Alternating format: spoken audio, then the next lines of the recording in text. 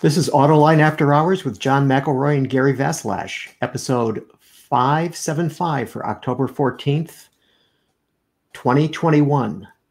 Designing the Ford Maverick, inside and out. Watch Autoline After Hours live at Autoline.tv every Thursday at 3 p.m. Eastern Time. That's 12 p.m. Pacific.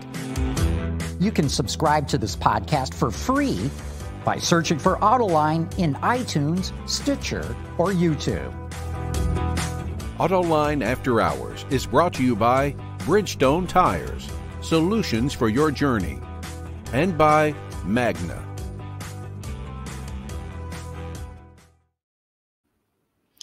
Hello, everyone. Thank you for joining us. Um, you just heard John's voice. Um, John's not here for the show today, so um, he'll be back next week, so look forward to that. But we've got a great show for you, and I think you're really going to enjoy it. Um, first, let me introduce my journalistic colleague, Rain Noe from Core 77. Rain, how are you? Great. Thank you for having me, Gary. Good to see you back. And um, so, so give give the audience a, a quick, brief synopsis of Core 77. Sure. Uh, Core 77 is an industrial design news website. Uh, we've been around since the mid 90s, so quite a while. Uh, within the field of industrial design, auto design is kind of the neurosurgery uh, compared to, let's say, a regular doctor. So, auto designers are the best of the best, so we're always very excited to interview them. Mm-hmm. So, one of the reasons we have Rain on today is because our special guest is Scott Anderson, design manager at Ford. His most recent program is the Ford Maverick, which is just rolling out there. He did the Bronco Sport before that. He teaches at College for Creative Studies. He's worked at Rivian, he's worked at General Motors, he's worked at FCA, and he's just a guy who knows one hell of a lot about design. And I am so pleased to have you on the show today. Yeah, thank you very much, Gary. Uh, great to be here. Um, always fun to talk about design and especially the new Ford Maverick. So thanks for having me. So so so let's start it out by by give us a sense of you know when you guys got the assignment when you got the brief to do the Ford Maverick what was it and what were you guys trying to accomplish? So we had this sort of um, new customer that we who had found during some research and I was on a different program entirely at the time and I, I got a kind of brief from my design chief said hey we're going to do this small compact pickup. And I just just about jumped out of my seat because you know, my one of my first cars was an original '94 Ford Ranger, right, the compact compact truck, and I got really excited and enthused about doing something new in this space. And um, when I started reading the customer brief, it was a pretty exciting customer brief. They were energetic, sustainable, you know, value oriented, but wanted flexibility and customization and all these things that talk we talked about, and we boiled it down to some words like essential courage, right? Make something super essential and something very courageous in the space. And I think Maverick fit, fits those bills really well. And so yeah, it was this very simple, like, hey, we're going to do this really fast. It's going to be a six month program in and out for design, right? So in January, I got the assignment. We formed our small team. We're in the truck studio. And by July of that year, we were releasing final production surfaces out to engineering to start making tools and, and uh, realize the production truck. So it was a very fast uh, very low cost, very interesting um, customer assignment. So it's, it's a very exciting uh, part of my career, actually. So, so just before I, Rain will ask you a question in a second, but I just want to know. So, so when you say you did this quickly, what is the length of a normal program? Typically, we'll see. I, I want to say it's around twelve to eighteen months of studio time by the time you start to finish with all the gates and the different feedback loops and final production release. So um, roughly half uh, of the normal timing. Um, so a lot of the timing was was uh, truncated up in the front side of the design process.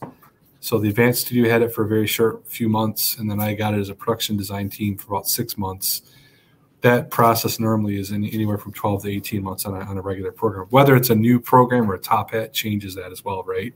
So an all new ground up is a little bit longer, but uh, a top hat goes a little shorter. You know, just a you know another version of a, a current product is quite a bit shorter. But this was half of that even, so hmm. it's very very fast. Rain.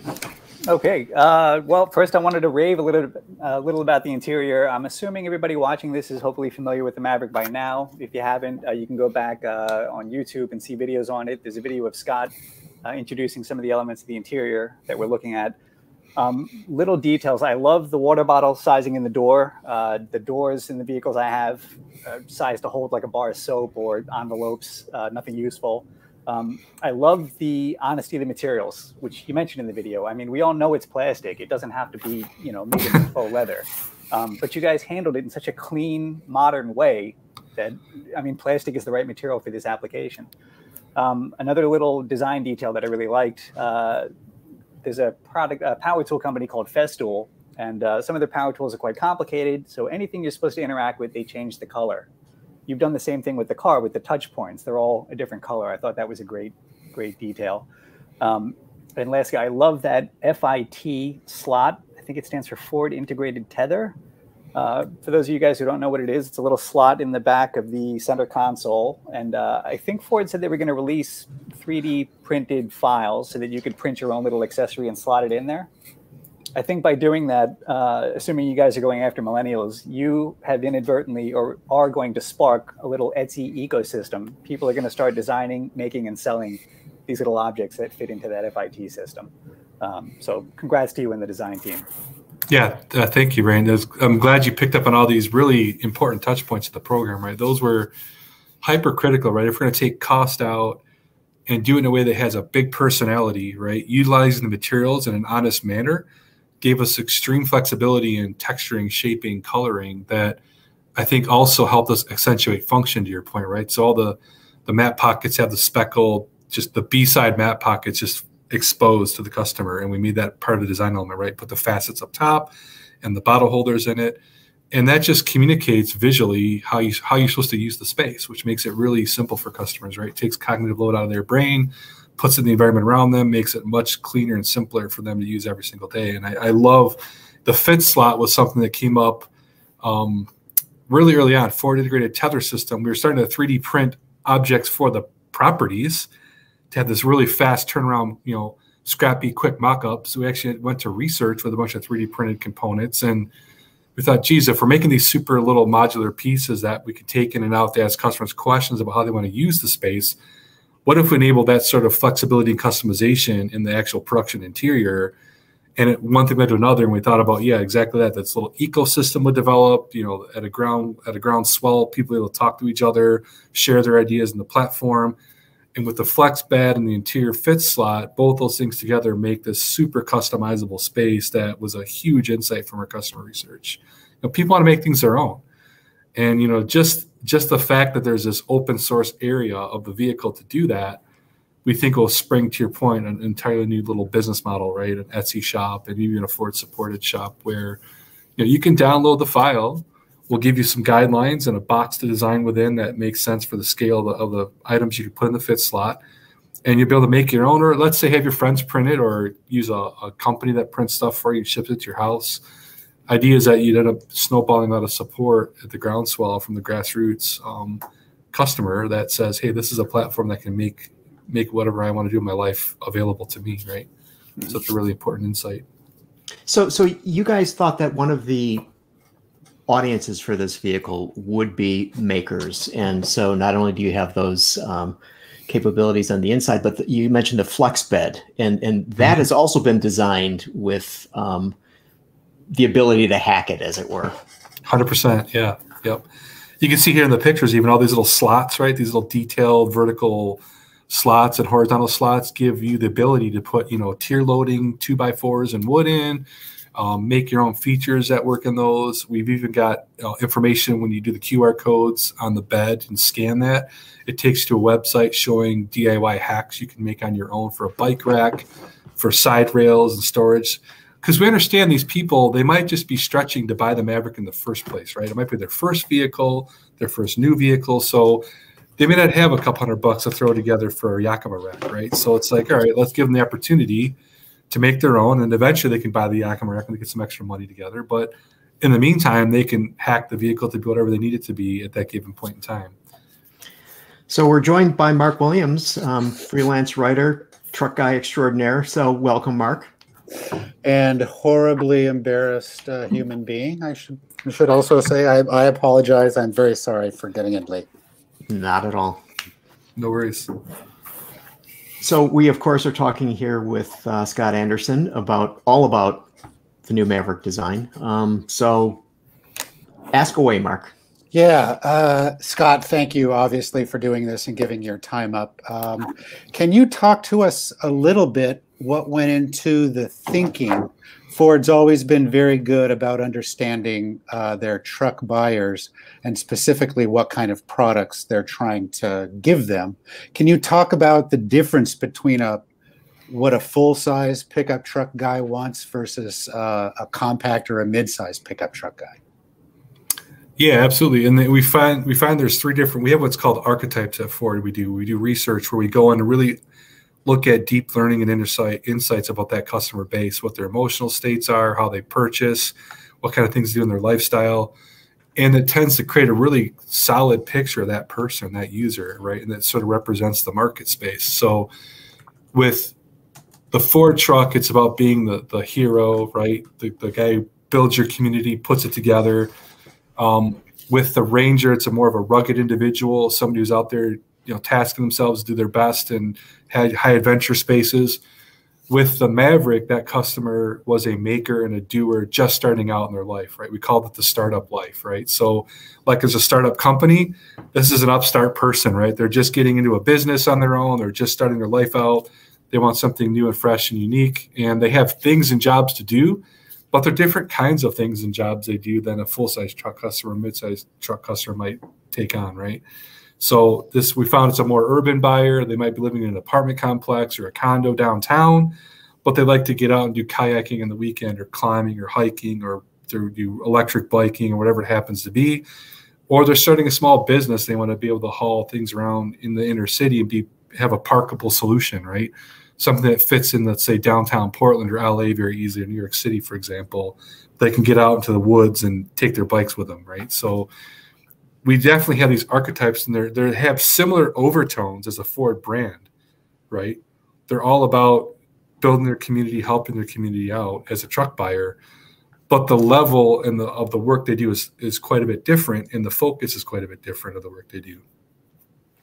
Interesting. Um, so it kind of sounds like you're describing this buyer for the Maverick as not necessarily a truck person, but you're you're helping create a truck person. Is the right. is the the interior doing that specifically, and and how? Absolutely. So we we always like to say the Maverick is the truck for the person ever knew they needed a truck, right? So if you got a person might be today buying a small hatchback or a vehicle or SUV or car or crossover and they look at the Maverick and go, geez, that's you know 40 plus miles per gallon. It's twenty thousand dollars. Oh, and it happens they have this four and a half foot box in the back. I could do all kinds of stuff with I never thought about before, right? So that person now that usually is limited in compromising their solution based on fuel economy or price, they don't get the scale and the footprint they need, or you know maybe they have a, a truck desire or a bent to get a truck, but they, they live in a spot where it's they need a tiny footprint, a parkable solution. So we think the Maverick is an all new place to be for Ford truck, and it's an exciting one, frankly. On the interior side, this idea of underseat cargo storage, um, flexibility of the space to go from people to cargo, even on the inside. One big insight of trucks is the interior is just as much as a cargo hold as the exterior bed, right? You look at all the spaces people put big screen TVs in the back of their F 150. We brought that insight to Maverick and said, look, these people are going to be carrying mountain bikes inside, possibly. Um, precious cargo like their children, drones, devices, sporting equipment, you know, baseballs, uh, golf clubs.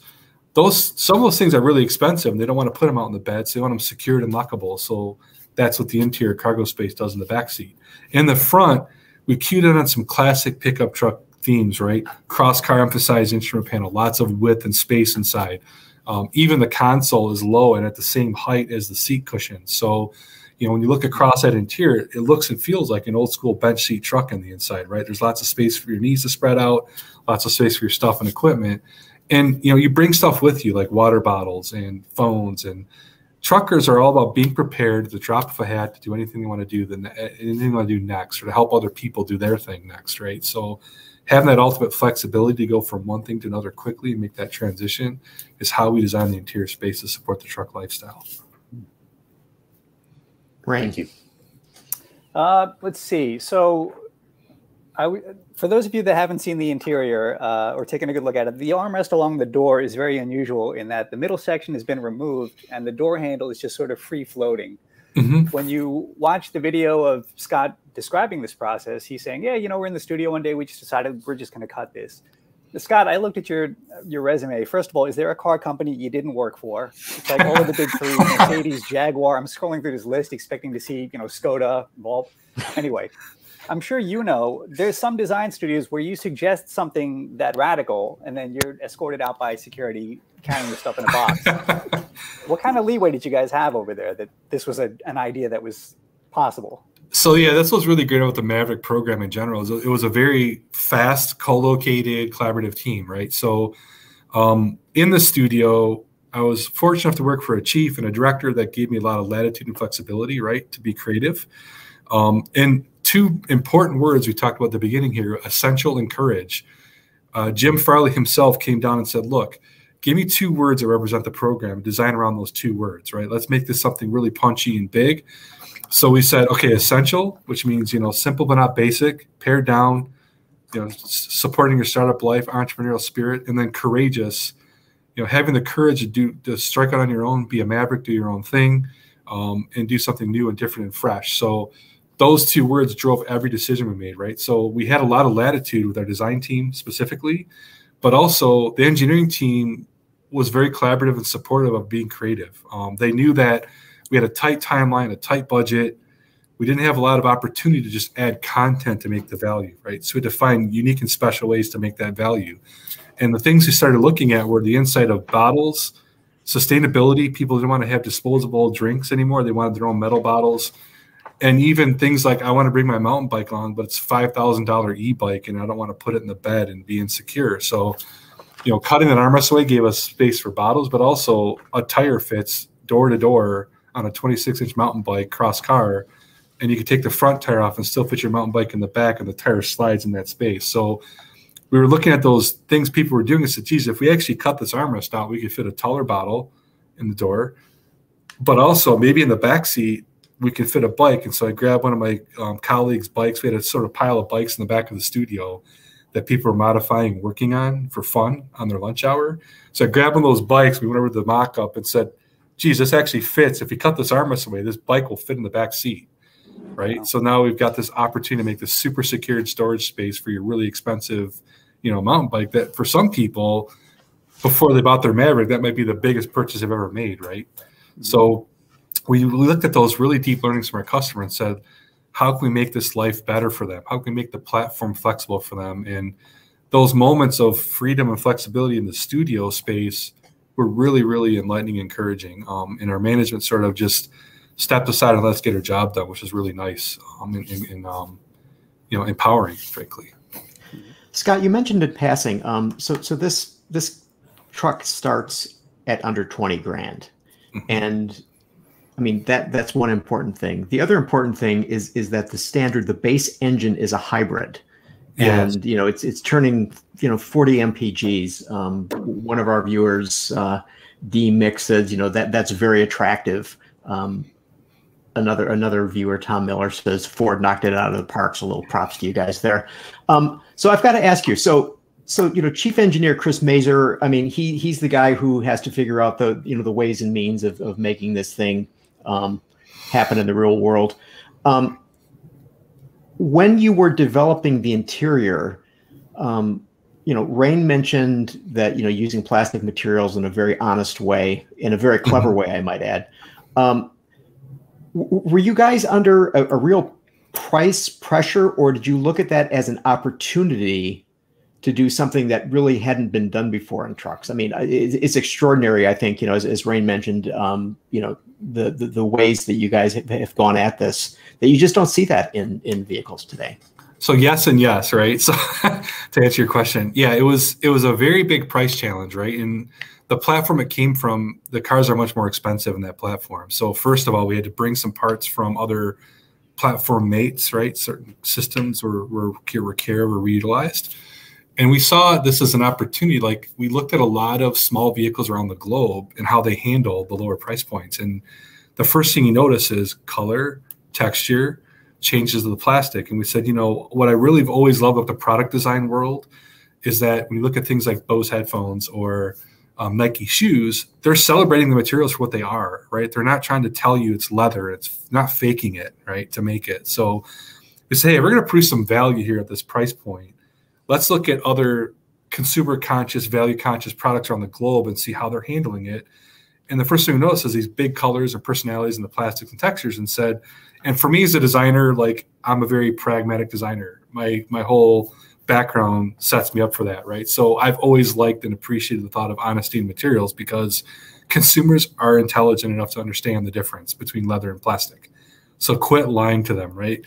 Quit, creating a false economy and a false value in, a, in a, an animal grain, right? Nobody nobody believes for a minute that polypropylene is leather. So quit pretending it is, right? So that gave us a huge opportunity to take a lot of money out and do reductive design process as well. So um, the speckled plastic is a reground carbon. It's also a sustainability story as part of the process. Reductive design is sustainable.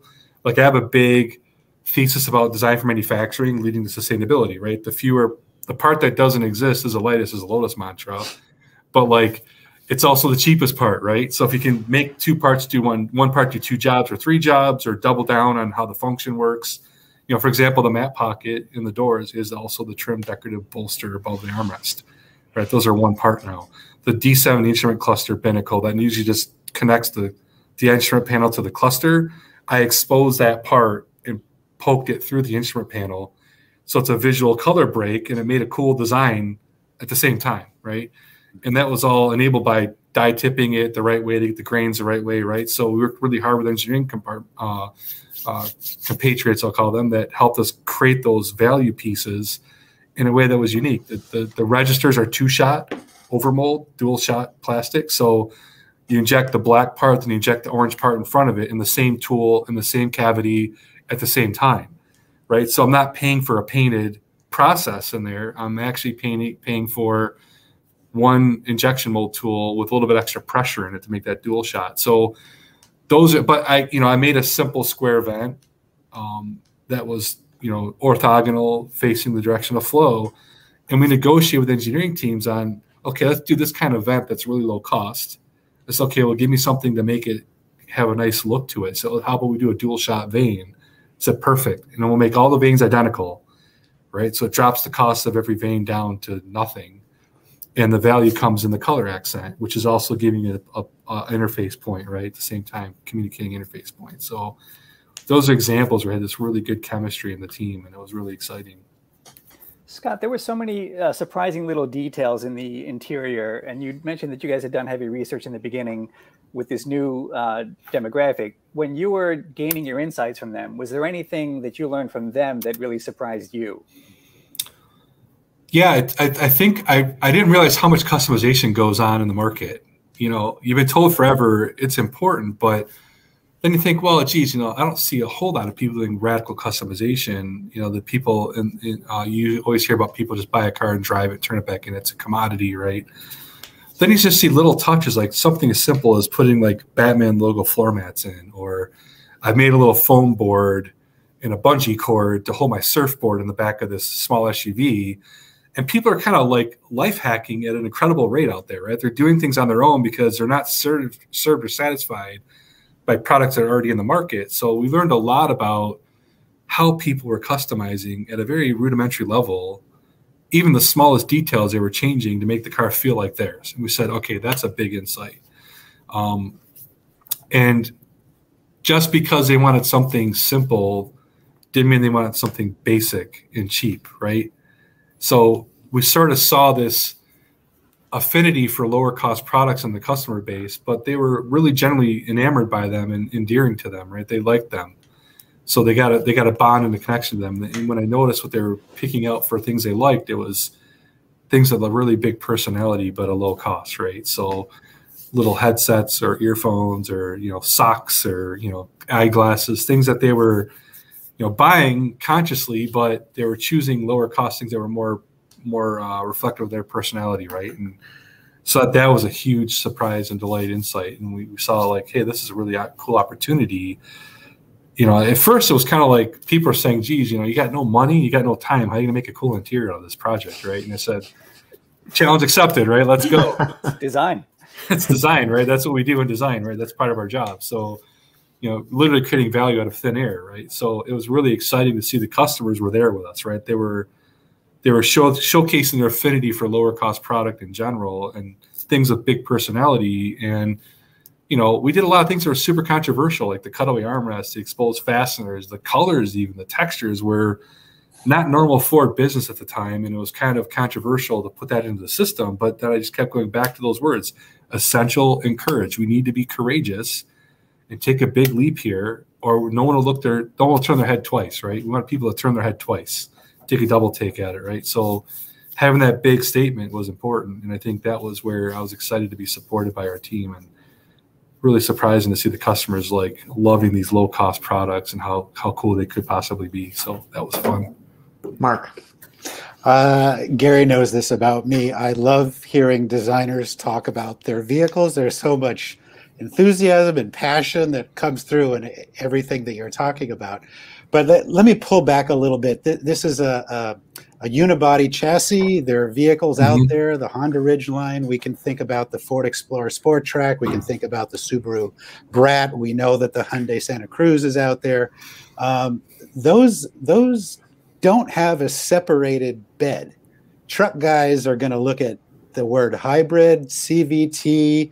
They're going to look at the word unibody and they're going to look at that dial for their transmission and not instantly think about hardcore truck work.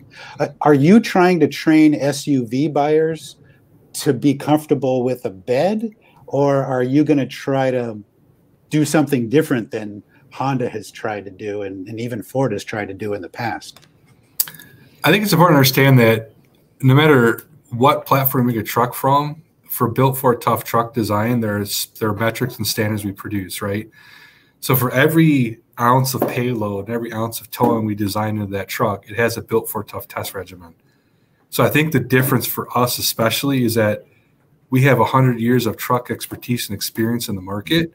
We're leveraging that to bear on this product, even though it is unibody and it's a smaller footprint truck and a smaller capability than an F Series it's still very much a built for tough product and went through, as Chris Mazur mentioned, over 19 million miles of testing to bear that out, right? So the other benefit is that platform that you're talking about, C2 is our flexible vehicle architecture. And that thing's been through three product cycles already. All those accumulated miles start out the Maverick, and then on top of that, we put built for tough testing, and yet again. So there's elements that Honda won't do and can't do, doesn't understand in the Ridgeline, right? There's elements that other products may you know that maybe unibody trucks that they don't have that sort of understanding of that truck testing and regimen and durability that that Ford does, right? So every ounce this truck's built for tough, right? And again, it's it's a truck for people that didn't know they needed a truck, right? So it's a, it's a new space, a new market, a new customer. If you want, you know, eleven thousand pounds of towing, you buy an F series, right? You want, you know, seventy eight hundred pounds of towing, you buy a Ranger you want 4,000 pounds of towing for those couple jet skis you just bought or that small boat or, or a camper, Maverick is a good fit, right? You got you got to fit in a tight parking spot, get 40 plus MPG. It's the right product for you. So we designed the capability built for tough around the around the user and the premise what they're going to use it for. Okay, I'll ask the last one. All right. So, so Scott, you've talked a lot about various aspects of the vehicle. You spent a lot of time developing it, soaking in it, driving it, living with it. What's your favorite aspect of the new Maverick? Oh man, it's so hard. It's a hard question. There's so many little details. I, I think I still think my favorite thing is the fact that um, we got these really courageous elements in the interior design, like the, the exposed fasteners. To me, is probably my number one favorite because we actually have a FORD bolt now in the system at Ford Motor Company that I can use on other projects later. Um, and it sort of inspired and worked with the Bronco team on their bolts. It was kind of a an energy momentum gaining behind it, and I think that's a example of how passion and design focus and customer driven design can end up giving you something completely new and, and different than you would have thought never happened in the, in the interior space before. So that bolt represents a lot of sort of new thinking, right, about how you how you put a truck together. So I think that's probably my favorite. it, it is a very cool bolt, and for people who don't quite get it, it's it actually does say Ford on the outside of it, so it's not just like it's exposed. It's like, oh, they guys they, they forgot to finish this, but no, it, it, it, it is a it is an integral part of the design. So, Scott Anderson, want to thank you very much for spending some time with us today, and we really appreciate it. So yeah, thank you guys. Thanks for having me. This has been fun. you. Okay, so we're going to take Thank a quick break and uh, hear from our friends at Bridgestone and Magna, and we'll be right back to talk more about design and trucks.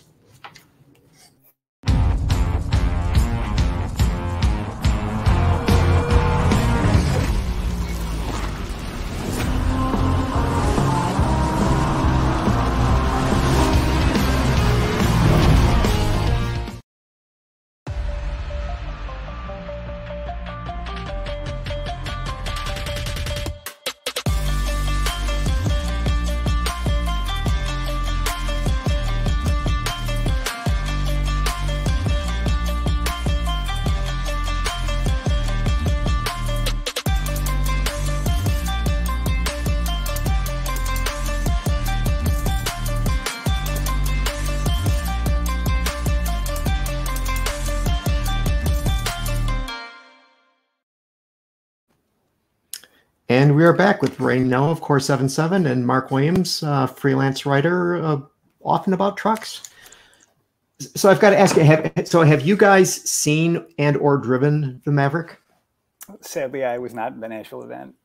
I have not been able. All I've done is been able to look at it from afar. So yeah, I'm waiting. Mm-hmm. I'm dying to uh to try it out. Yeah, yeah. I, I, I some tests to throw at it.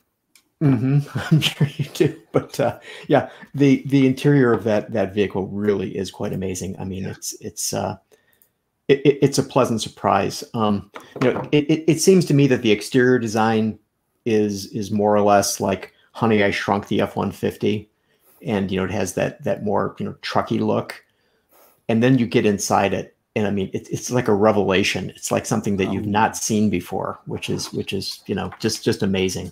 Um, I think this like is a case of, and I haven't seen it in person, so I'm just going by images, but it's a case of where the interior to me outshines the exterior. I don't dislike the exterior. I look at it like a competent movie, like they didn't screw anything up. It's that's right. But uh, the interior, and I just have to point out how nuts six months is. I mean, I'm hoping you guys have an inkling. That's crazy. He and his team, nobody slept well for those six months. So they, if you guys are watching this, congratulations. So, so, so, so do you think it was excitement or Red Bull? Probably a little both. Mm-hmm. Probably both. Yeah. So, if, I, if I know if I know those team members, then uh, they probably fought like heck to get on that team, and then uh, they had a very clear vision of what they wanted to do. You don't execute something like that without understanding and maybe even being able to point back. And we didn't get him to go on the record, but there's got to be some frustrated projects he's worked on in the past that finally were allowed to come out in this vehicle. Sure. Mm-hmm. Uh, Mark, I wanted to ask you something since you're uh, a truck guy. Um, so I'm to explain. Uh, I'm newly a truck guy. I'm living in a very rural county, uh, less than 25,000 people, no stoplights. Everybody's got a truck, and it's, it's not an option. You need a truck if you have any amount of land. Um, sure and they're these oh one thing i they're these surprisingly communal objects. I'm a guy who moved down here from new york city. I didn't know anything about trucks. After getting a truck and then meeting neighbors we've all borrowed each other's trucks. A transmission goes out. You yeah take my truck. Uh, take my trailer. Um, what i've seen a lot of down here is a lot of people have these very prized little mazda mitsubishi old nissan pre-tacoma toyota small pickups they won't sell them to you. They love these things. Nobody's making them anymore. They're low to the ground. Um, they don't have a huge payload, but that's not what they're for. You know, there's a guy. Uh, he, he's a full-time fence guy at a farm. All he does is drive the fence line every day, five days a week, and fixes it. All he needs is the Toyota with fence posts, a couple tools. Do you think that something like the Maverick will appeal to these rural drivers, or uh, eventually, um, what what you've experienced and the experience you've just described is not unusual. It's uh, very familiar to me because it's a very familial, uh, uh family oriented way of thinking. You've now moved into their community, you've inhabited their family area, so you are going to be accepted as part of their family, just like the vehicles they own are part of their family. Why would you think they would sell one of their family members to somebody else? that doesn't make any sense to me. I wouldn't do that. They don't expect you to do that, but they will let you I think it's illegal and, and just... use the work. Yeah, it's illegal too. I totally understood.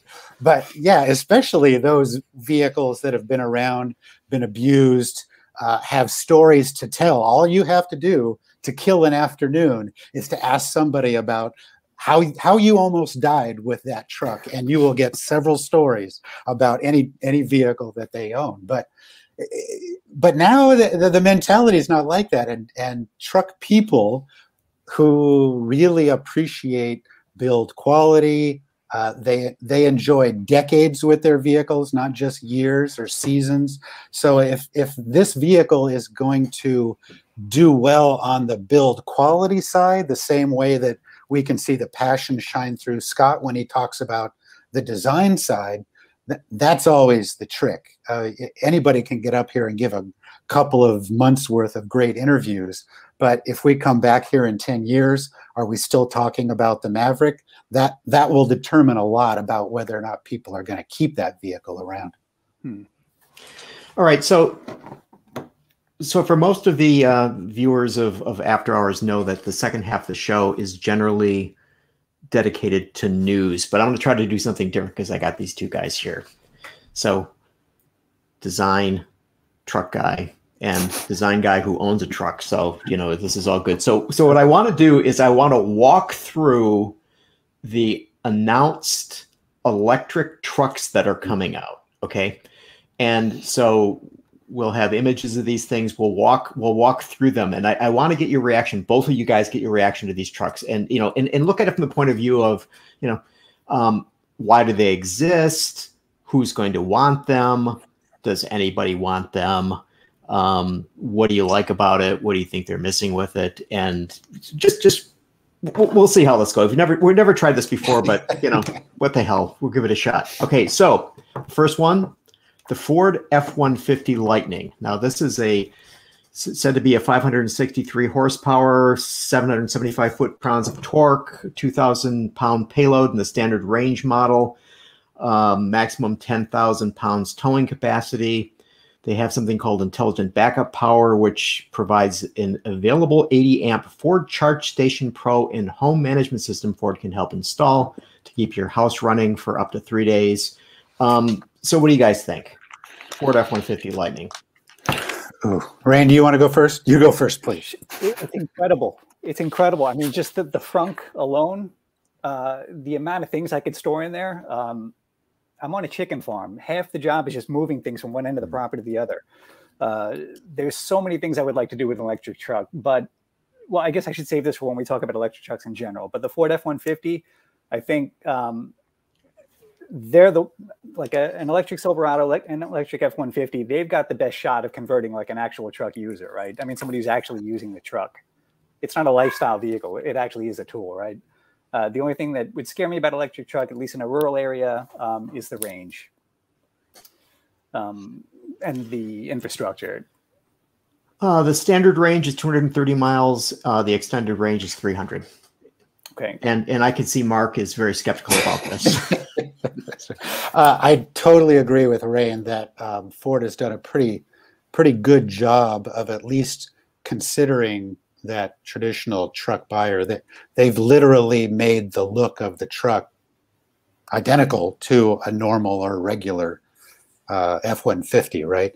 The the things that are going to stand out to truck guys uh, specifically are is the independent rear suspension that that's going to be a question mark. Uh, Ford has done a, a what I consider to be a genius thing by trying to distract, well, distract by giving you an amazing performance vehicle uh, from the traditional truck kind of work envelope that they could normally do. So so if you're going to use that lightning name, everybody knows what lightning means.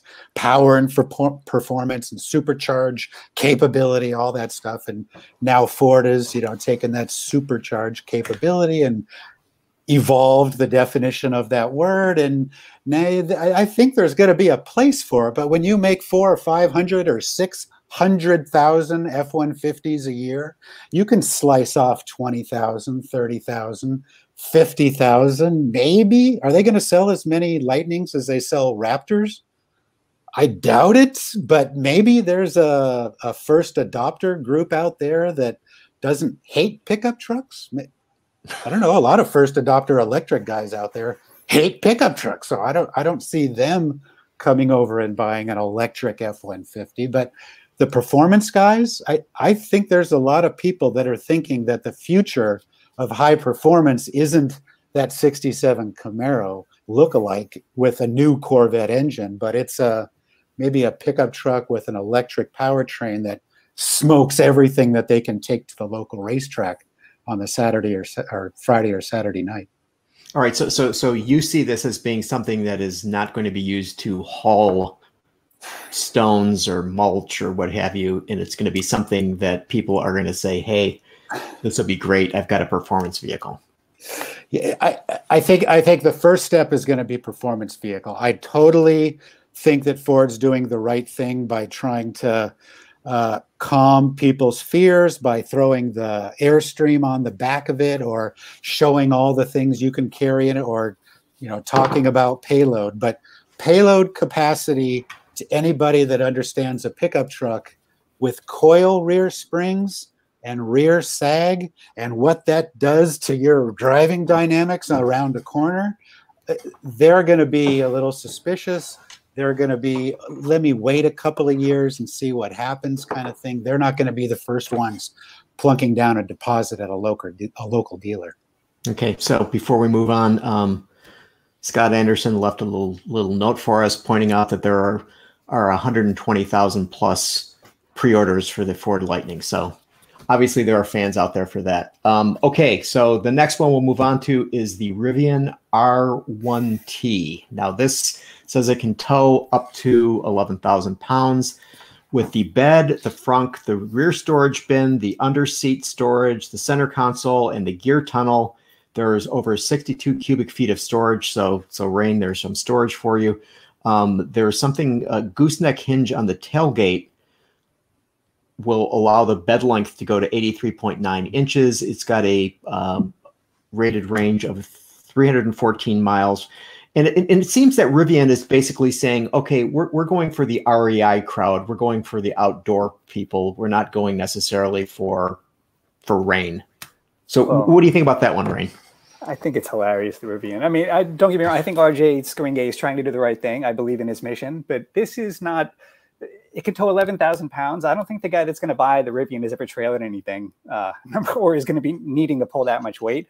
This is more. I see it as for like Silicon Valley tech guys to put their carbon fiber surfboard and drive to Monterey. It doesn't seem like a, a truck to me. I mean, the tunnel through the back is kind of cool, but what does that do to the bed? And uh, we should ask the truck guy. Yeah, that'd be you, Mark.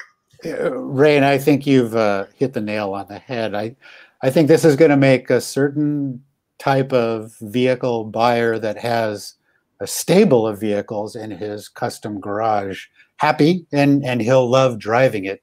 But it's uh, uh yeah i don't know. I totally admire ceos that have the type type of um, energy and desire to want to change and mix things up. Uh, to a certain extent almost everybody in this electric pickup truck segment is somebody who wants to be elon musk they're, they're all trying to be the disruptor to the auto industry and change everything. And none of them are changing everything. They're all kind of doing the same thing with the same segment, which is kind of interesting. But yeah, I, I don't see this vehicle being anything but an extension of exactly what you would expect if you have a whole bunch of McLaren refugees and Tesla refugees coming together and building a vehicle. they they've done an amazing design job.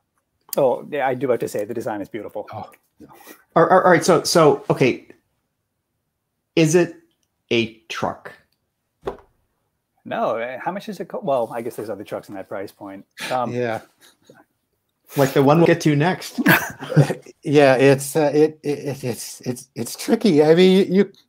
I, am sure there's plenty of analogies that very intelligent people can come up with, but I mean, there's there's the core of what a pickup truck is, and Rain said it earlier. It's a tool that has to do a bunch of different things, and that just does not seem um, to be the highest priority on any of these vehicles. They're very cool and they can do things that some vehicles have never been able to do before, and that has value. I, am not, you know, disparaging anything about that. That absolutely is an amazing thing to watch these types of of engineering feats come to fruition. But but as far as you know, where it actually has to be practical and not just cater to celebrities or actors and actresses. I, I, I don't know. I for me, I I I just have to stand back and watch. All right. So so so the next one is an absolute feat of engineering, and it undoubtedly will have appeal to at least actors. The Hummer EV pickup from GMC. So they're talking about a thousand horsepower and eleven thousand five hundred foot pounds of torque it's got uh, E four wheel drive, meaning electric, uh, three motors, um, five foot box on the back. Um, Rain, what do you think about that? I mean, this is an astonishing piece of design, and um, maybe a, a, little tidbit that'll clue you guys into who they're going after. Did you guys ever see any of the um, the Avengers or Marvel movies uh, mm-hmm. where they've got some computer scientist or Tony Stark, and he's always got some cool 3D interface that's like a bunch of glowing orbs and they tapped the design company that did those interfaces for the movie to design the interior UX and UI for the Hummer. Um, they're going after Tony Stark. That's the market uh, for this for this vehicle. I love the fact that Ford and GM think exactly alike, uh, and, and I'm being completely and 100% sarcastic. I, I, I, okay, we have the Ford Lightning. Everybody knows what that was. And now we're trying to redefine what that Ford Lightning is because the world is different, technology is different, yet we're trying to repackage and market the exact same thing. For who uh, we'll we'll find out. But here we have GM doing exactly the same thing, not not even trying to pretend something. You're taking Hummer, which everybody exactly understood and knew what Hummer was, but now they're trying to rebrand it and remarket it, shoving all this technology inside of it to say, "Oh, now it's something completely different." That that that's that's difficult for look, I'm an old gray bearded man. I totally get and understand that. And I have a long memory and and in some ways I have a very, very short memory. But with words like Hummer and words like lightning, you're going to have to do more than just remarket and repackage something with new technology to get me to start thinking about it being very interesting. So, so here's the thing that I wonder about this in particular is okay. So there, will be an SUV version coming out as well, which which basically is is the same vehicle but without the box on the back. What do you guys imagine will be carried in the box on the back besides i don't know meteors or whatever comes uh, thor's hammer. I mean i don't know. Uh, luggage. It, it's going to be luggage and uh, maybe camping gear or stuff to bring to the kids school event that's happening down on the baseball field or anything like i just can't imagine that anybody is going to use that kind of uh, I'll apologize before I even say this, but a, pretend bed like the Hummer is offering. Obviously, the F 150, it's a different situation, but still they have a compromise that they're making with those coil springs. Anybody who understands pickup trucks and carrying heavy loads, even in a full size or mid size SUV, extra weight, a few hundred pounds of extra weight in the rear of a vehicle changes everything about how you have to look down the road, behind you, what turns you're making. And you if if and if you're talking about a trailer, which even is an exponential jump to that, it it's even more important that you understand that you have a vehicle that can accommodate that. Extra weight to an electric vehicle is an extra drain. So push all that those numbers about range right out the window. Because if it's hot or if it's too cold or if you don't have a plug in 50 miles and you're towing something that maybe you shouldn't be towing or you didn't know you were going to be towing bad things could happen in your brain and that anxiety is real. All right so, so the next one and, and this one I, I am really going to be interested in in Rain's reaction to this one and um, because it's um, well, I we'll see why. so the Bollinger B2. Oh, okay. 614 horsepower, 668 foot pounds of torque. Um, it's got a payload, and this is a curious one, and, and maybe Mark can explain this. The payload is 5,001 pounds, and it has 7,500 uh, pound towing. The bed is four feet wide and six feet long and it can be yours for a mere $125,000. So, okay. Rain, start. So this is interesting. I actually love this. Um, I know it's the same price as the Hummer, but I don't resent it. And well, first of all, a couple of things. I don't care what my truck looks like. I don't even care what color it is. I, I don't care about the aesthetics. I'm not looking at it. I'm inside of it. Um, the, this is the only electric truck I've seen that's been honest about what can you do with this platform. And they made that crazy tunnel that goes all the way through between the front seats so that you can carry stuff in there or access it. And the fact that the back wall folds down and now the bed goes inside the cabin, these are all brilliant, brilliant features. Um, I, I, just wish they could mass produce it and make it affordable. I mean, if I could afford the, one of these, I'd get it in a heartbeat. I think it's amazing.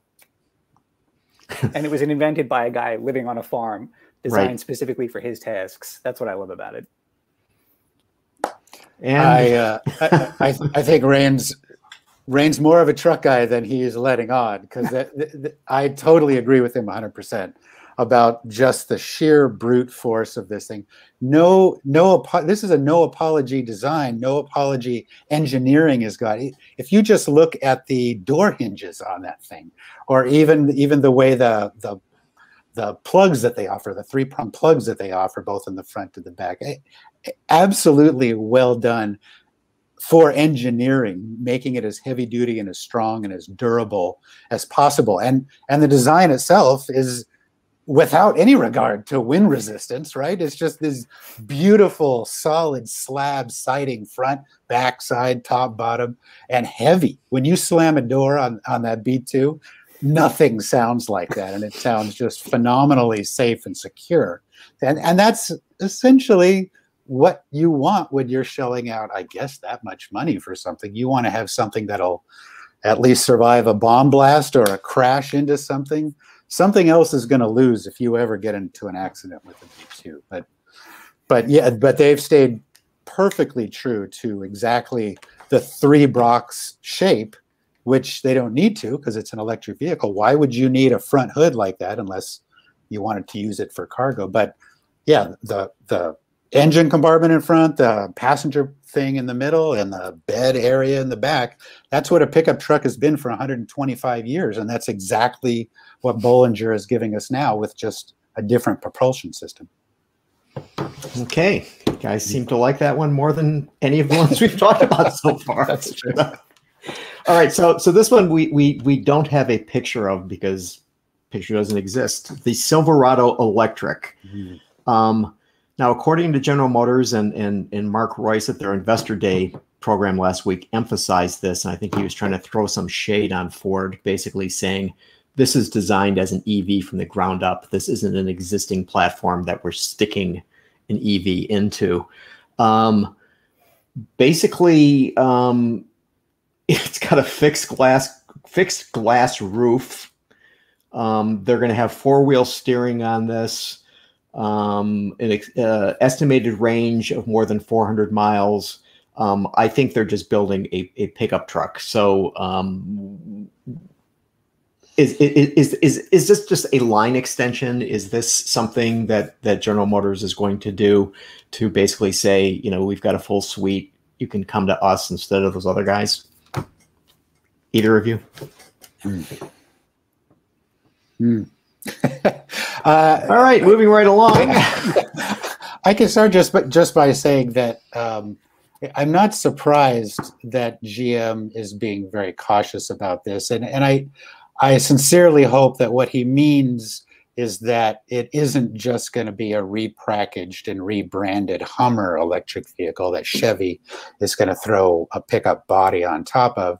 Although, even if they did that, uh, the Chevy truck guy remembers the SS, remembers big blocks, remembers uh, high performance and power. So if they wanted to go that angle, and it would be just a niche vehicle kind of thing, I think they could pull that off if they wanted to stay in that kind of um, Ford patterned path of performance vehicle making a pickup truck uh, with that kind of package. But but eh, again, it's it's either Ford being Me Too or it's GM being Me Too in this situation. So I I don't know if anybody wins, and I don't know if any, either one of them can throw shade on either either brand. But I guess I don't know enough, enough about this. Uh, well, I don't know enough about this specific model. Uh, all I know is that the the brand loyalty I've observed makes me think that Ford or Chevy stands the best chance of turning a traditional truck owner just based on the name. Um, I mean, a Rivian is never going to get those guys, right? Um, and maybe it will have appeal for fleets. I don't know. Hmm. The, the thing that I think is is perhaps telling about this is that the vehicle will have its official introduction at CES. Oh, that's so. Telling. Yeah. So so. Um, all right, moving right along to quite possibly the most controversial design statement in the 21st century. The yes, indeed, Rain. The the Tesla Cybertruck. Now, the the Cybertruck is made out of something called ultra hard 30x cold rolled stainless steel, and it has Tesla armor glass, which I guess, as we saw at the presentation, um, um, is is not exactly um, armor instead of a bed, it has a 6.5 6, 6.5 foot vault. The single motor right rear wheel drive version can tow 7,500 pounds. The dual motor all wheel drive version 10,000 pounds. In the tri motor all wheel drive 14,000 pounds. The range for those respectively is 250 miles, 300 miles, 500 miles. So so Rain, you you were you, you looked hurt when I pained, as it were. Um, uh, yeah, I mean, well, design-wise, it's it's an abomination. I think uh, they should put spikes on the side to reinforce that you not only cannot reach over the sidewall, but you shouldn't try. Just, I mean, what, it's like a joke from a Mike Myers movie, like a prop you would see in the background, and like, oh god, look at somebody made. I, I just can't believe that it's actually going to come out. uh, I agree with Rain. Um, I, I, I, did happen to check uh, a non-disclosure agreement that I had to sign that I know has now run out, so I can actually talk about seeing this vehicle before anybody saw it revealed to the world. Um, was working with Motor Trend and, and, had a chance to go in and with a group of people, uh, they were going to show us the very first cardboard setup that they had of this vehicle. It wasn't anything built, but it was the shape and it was the size. Um, and and they escorted us in, and they had the Ram 1500. I think it was a Lariat, and then they had the F150 in the other back corner, and they had the Chevy Silverado on the other side. Um, and they had this thing sitting right in the middle. And when we walked in, they said, "Well, what do you think?" And I, "Well, what do you think about what?" Well, what, what do you think about our, you know, our design? And I, I just said, yeah, yeah, show, show me the truck. I, I don't even see it. And I literally did not even, it was sitting right in the middle in between those three trucks of a big, you know, stadium design room.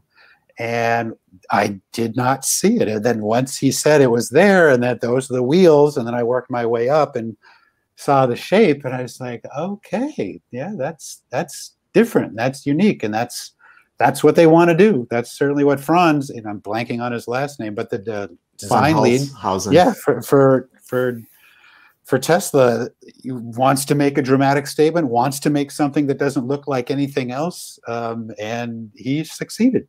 So I, I don't know. In that sense, I guess it's a success.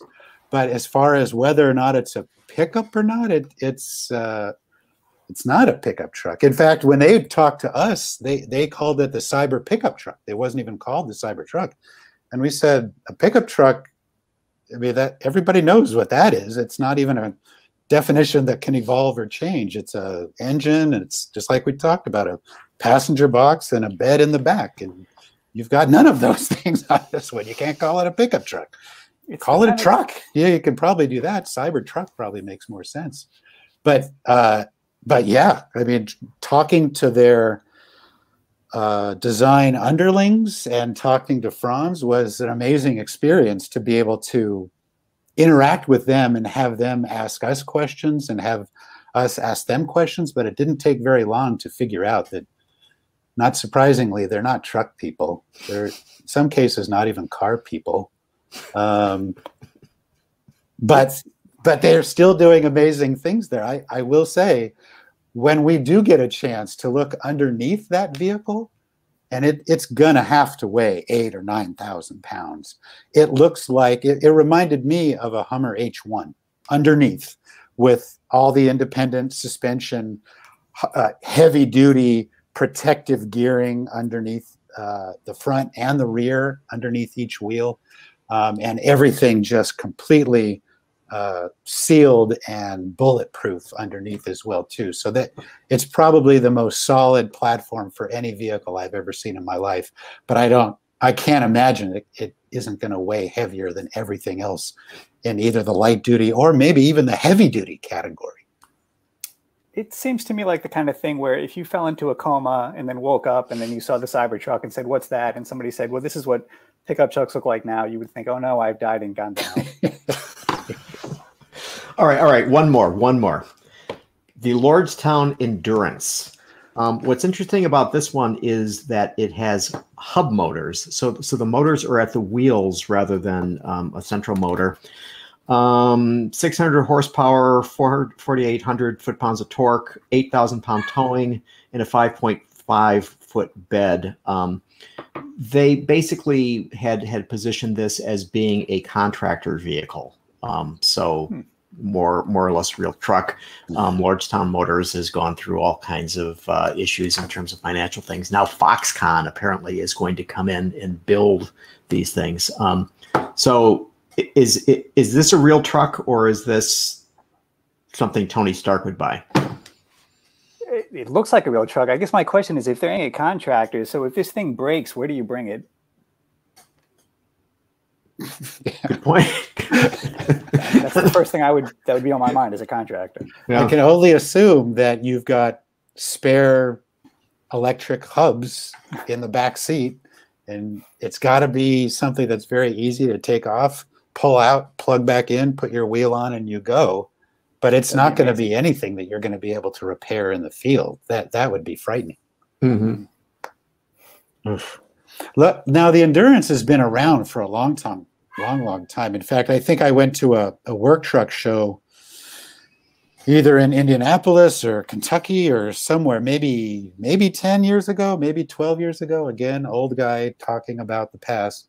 But that that's when they first started talking about wanting to create this kind of uh, utility vehicle for fleet sales, which makes sense for electric vehicles. It doesn't make any sense to me to drive around like we do normally today. But if but if you're a, a fleet buyer with fleet drivers that have a very standardized route that they go on every single day, and you know exactly how long it's going to take them and how many miles they're going to be driving, and you can bring them back to the main hub and you can plug them in every night and, and have them all charged up for the next morning. That makes perfect sense to me.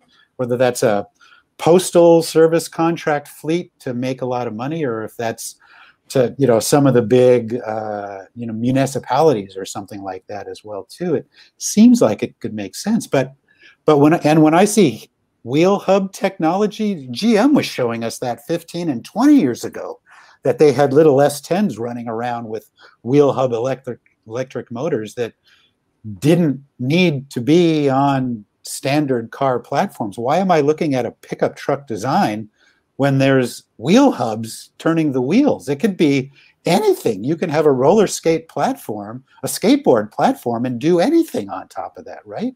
So why? How come I'm not looking at something really cool and unique and sexy and or practical and functional and I, I don't know. There's just too many things that don't make sense to me when I look at what Lordstown's trying to show us now. So, so I guess if, if, to wrap this up, I mean, it, it just basically seems to me that that the biggest hit of all of these forthcoming vehicles, I mean, the only one that's basically out there right now is is the Rivian One RT. So, you know, props to them for being the first to market. But it sounds like the Bollinger B2. If you guys win the lottery, oh man, you you will each have one of those. That would be put up. Yes, in in your sure. garage. And, and, I don't mean to be the the naysayer that I don't believe this is going to happen. Scott was very polite about reminding me that obviously there's pre-orders and there's a lot of excitement about something like the F-150 Lightning. It's a redefinition, a recreation of something familiar to a lot of us old guys. But but where this fits in the heart of the market and meets the needs of your average typical pickup truck buyer, I think we're still a long way away from general adoption in this segment. So, Rainer, are, are you a big fan of the notion of electric pickup trucks, or uh, is, is... I mean, the things that concern me are about the battery. The fact that you're going to buy this thing and every year the range decreases seems a little odd to me. Um, I think they haven't really figured out the battery recycling, what the economic impact of that's going to be, and then sourcing the batteries. Are we going to be basically driving around on these blood diamond powered vehicles? Um, and I think it makes good electric trucks make good sense for a suburban environment where you've got a garage you can plug into they're going to be a lot harder in a city unless you're very rich and you live in a building with a parking garage that has charging stations, which is not most people. Um, and then in the country, I think there's going to be some some range anxiety. Um, and uh, you know, like Mark mentioned, a lot of the times you're carrying heavy stuff, and that reduces the range, right? So, I think if it's going to take off, it's going to be in the suburbs. That's my guess. Hmm. Where, uh, which I think um, 52% of American households are in the suburbs, 21% rural, 27% urban from like an hmm. American housing survey. So, so that's a good chunk of the market. So the suburbs, where, where people really need the pickup truck to do their, uh... it's going to become a lifestyle object. I mean, in, in that context. Uh huh. All right, so we're going to wrap it up there. Mark Williams, thank you for joining us once again. You're our go-to guy when I got trucks on. Rain Noe, Core 77, thank you for being back. Your insights on the design and your My truck ownership and experience is, is very helpful. So I want to ask, uh, thank everybody for joining us. Um, come back next week and we're going to do another one of these. So have a good day. Thank you, Gary. Appreciate thank you, Gary. Thank you, Rain. Hey, thanks, Mark. AutoLine After Hours is brought to you by Bridgestone Tires, solutions for your journey, and by Magna. Visit our website, Autoline.tv, where you can watch us live Thursday afternoons. Get your daily fix with Autoline Daily and in depth analysis and interviews with Autoline This Week. There's all that and much more at Autoline.tv.